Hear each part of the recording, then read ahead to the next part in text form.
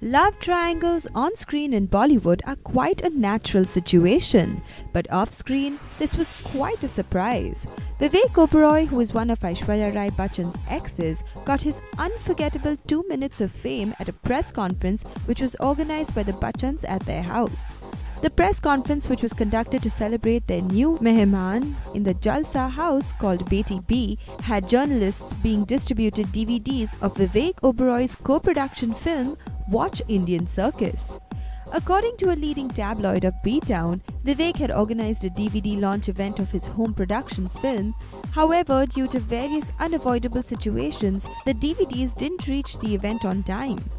The journalists who were eager to reach Jalsa for the Bachchan's press conference were not patient enough to wait for the DVDs. According to the report, during the Bachchan's conference, Vivek's event manager SMSed all the journalists about the arrival of the DVDs, asking the journos to collect their DVDs from the gate of Jalsa, which is the house of the Bachchans. Many journalists were surprised and amused to see this and poke fun at the situation.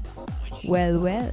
Was it a bizarre coincidence or a publicity stunt? मैं सोच रहा हूँ कि marketing के दौरान हम काफ़ी कुछ करेंगे What an idea, Sir G.